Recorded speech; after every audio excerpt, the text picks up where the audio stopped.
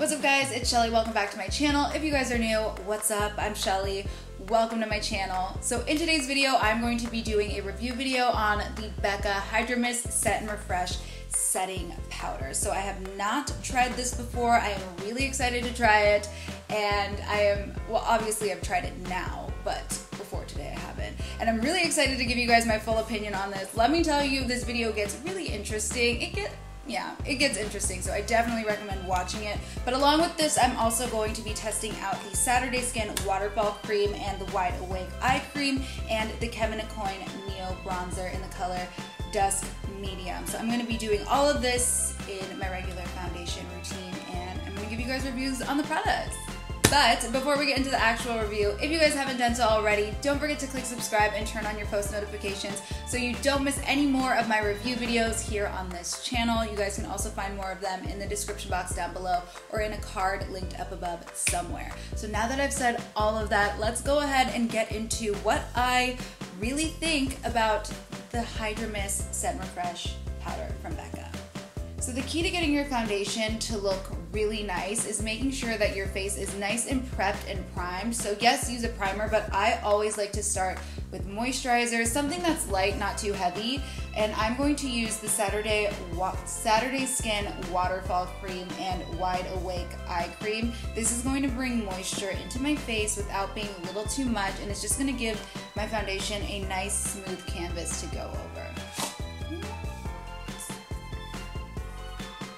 So I'm just going to take the tiniest amount on my finger like this and I'm just going to smooth this over my face. I'm only using just a little bit because I'll show you what I'm going to do in a second with my foundation. Then I'm going to use the Saturday Skin Eye Cream. It looks like this. I'm just going to use a half pump of this. This stuff smells really good. So I'm just to use the tiniest bit and I'm just going to dab around the orbital rim of my Okay, so my skin is now prepped with the Saturday Skin Waterfall Cream and the Wide Awake Eye Cream. I'm now going to move on to foundation. So here in Los Angeles, the weather is pretty hot and I'm looking for more of a lighter coverage, something that's more breathable and light. So you guys know that I use Estee Lauder Double Wear. This is my favorite foundation of all time, like literally go to, staple. Get it if you don't have it, link is in the description. I'll also link my review for it because this is the best foundation in the world. So I'm going to mix this foundation with the Saturday Skin Waterfall Cream to just kind of create a little bit of a lighter coverage because Estee Lauder really can be buildable or you can add moisturizer to it to really thin it out and just give it a beautiful light coverage. So I'm going to use about this much foundation, put it on the back of my hand, and then I'm going to mix it with a dollop. So I'm going to mix it together on the back of my hand like this. All right, so we're all mixed, and now I'm gonna go ahead and just put this all over my face.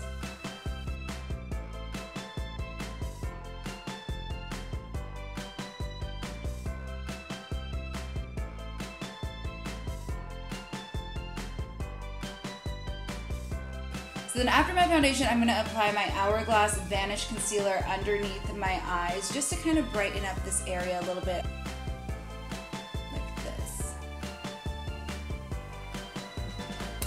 I personally like to blend this concealer out just using my finger like this first and then I will go over it with a beauty sponge to really kind of just give it a super nice finish. A little bit of this concealer goes a long way. If you guys want to see my review on it, it will be linked in the description box below as well.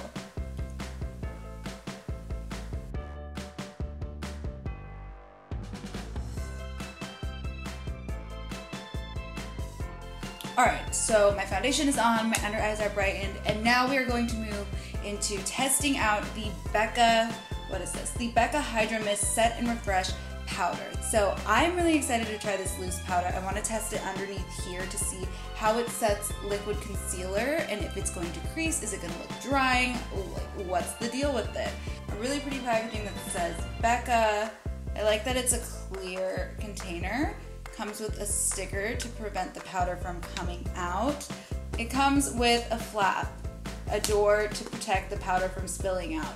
Ladies, your makeup bags are safe. So I already think that that's amazing. So I'm gonna take this sticker off because I have not, again, I have not tried this at all.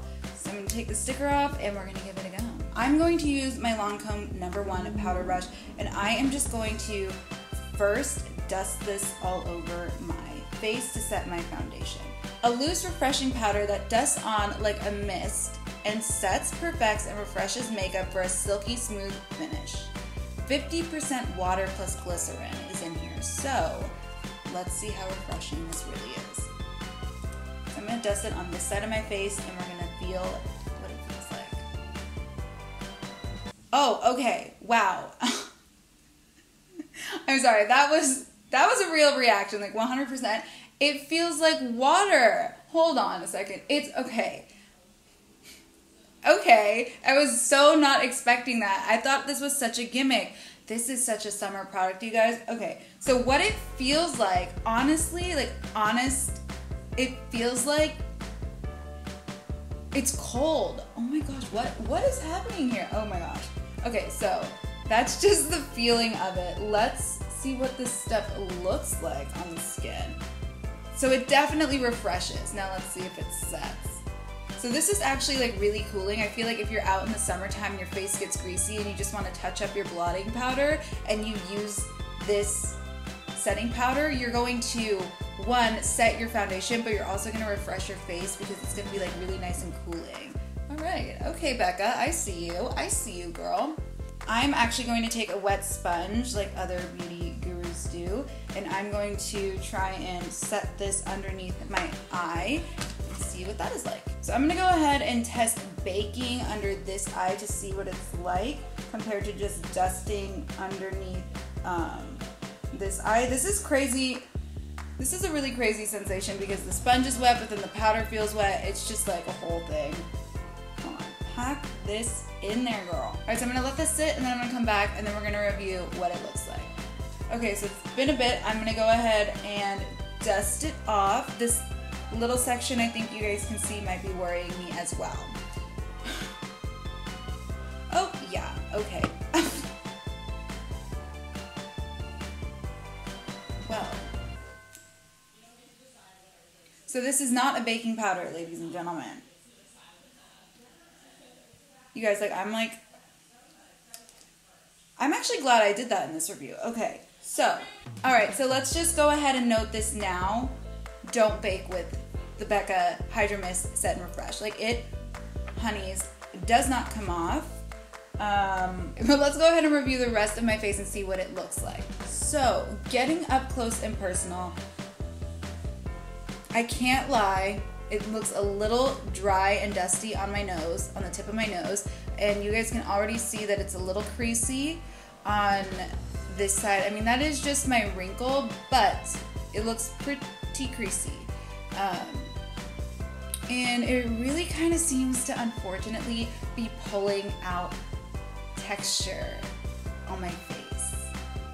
Okay, so I am a little disappointed, I have to say. It is a little dry, it pulls out a little bit of texture, it does not bake well, um, kind of creases, but on my cheeks, it does smooth. So my skin is nice and smooth, and so I'm gonna do my best to try and blend this out and then finish off my makeup to see what it looks like underneath makeup. Because I do wanna give it the full shot here. So I'm gonna really work at this here.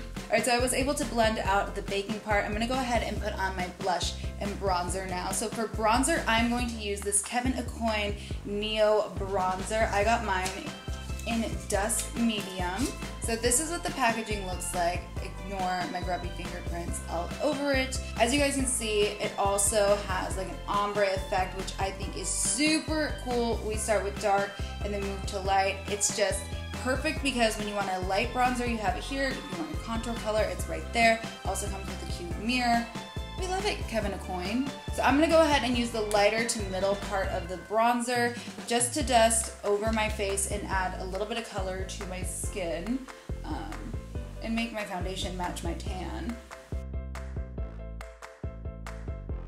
Okay, I have to bring this up. Am I the only one seeing this? But I did a pretty good job dusting off the bake and now it's like reappearing. Alright, so that was the Kevyn Aucoin Neo Bronzer on my face. I'm now going to move into my blush, which, as you guys know from my last video, I have been using the Tower 28 Cream Blush and Lip Color. I love this thing. It's just so cute.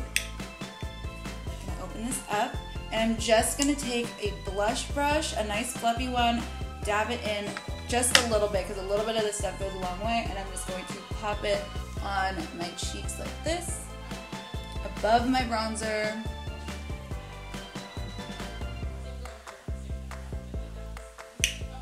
Done.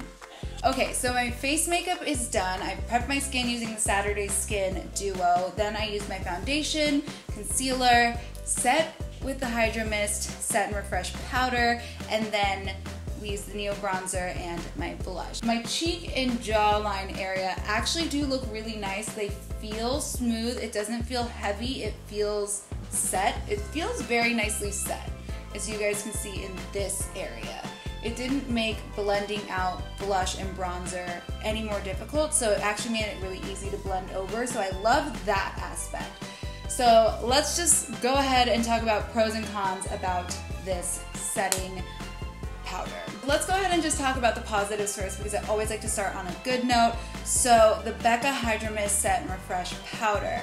Number one, I think that the cooling effect, the refreshing, the 50% water and glycerin is actually a really, really cool thing. I think that was a really pleasant surprise and I did love the feeling of it. So that is definitely a big plus for it. I also really like the packaging and the flap door that they have protect the powder from coming out and the netting under here, the filter netting to make sure that you don't get too much product on your brush.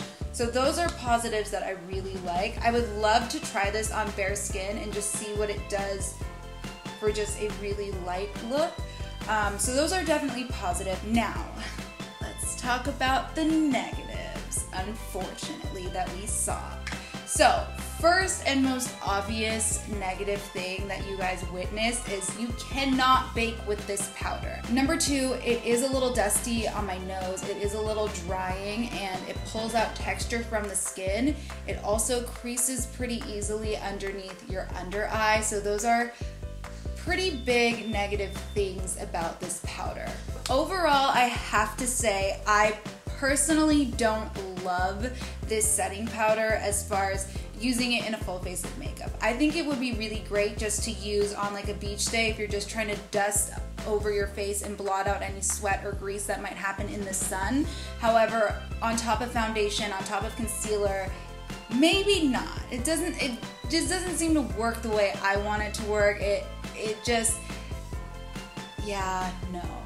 But if you guys are interested in testing out any of the products that I use in this video, everything is linked in the description box down below. If you want to test out the Becca um, Mist Set and Refresh powder just to feel that water sensation, because honestly it feels like a mister. It doesn't feel like powder. It's it, I can't explain it. That'll be linked in the description box down below.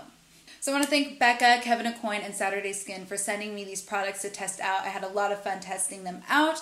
Also, thank you guys so much for tuning into today's video. If you like this video, don't forget to give it a thumbs up. If you haven't done so already, don't forget to subscribe so you get to see more review videos like this as well as tutorials and other things that I put up. So click subscribe, turn on your post notifications so you don't miss any more of this videos and eh, these videos this video is over, so you're not to miss any more of it.